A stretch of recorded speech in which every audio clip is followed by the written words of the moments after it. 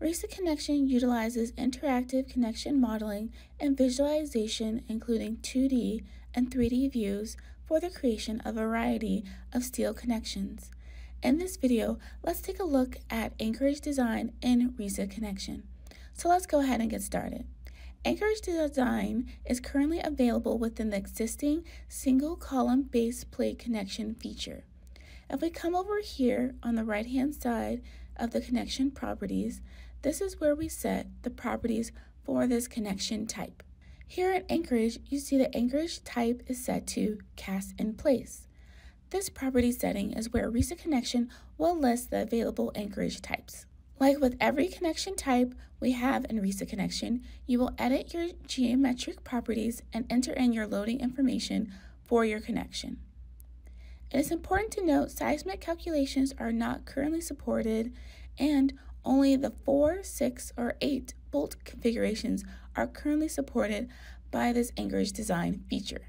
If I come over here into the reports, we kept the same base plate calculations in the base plate tab, but added the anchorage design in the anchorage design tab. Expanding these checks will allow you to examine the passing or failure modes for your anchorage design connection and view the calculations and code references for those calculations the program is running. All ACI concrete code is per ACI 318-19 and ACI 318-19 2022 version. We choose code in the global model settings here. It is important to note that the anchorage design will only be available when the steel code is set to LRFD. If the steel code is set to ASD, then only base plate design will be done. So going back into my report results, you'll see no calc under Anchorage Design tab. RISA Connection still supports integration with Hilti Profis to conduct Anchorage Design as well.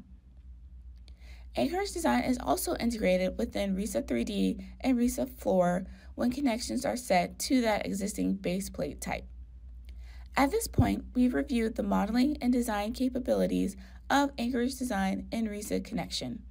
For more information on this topic or other topics, please visit our website, risa.com.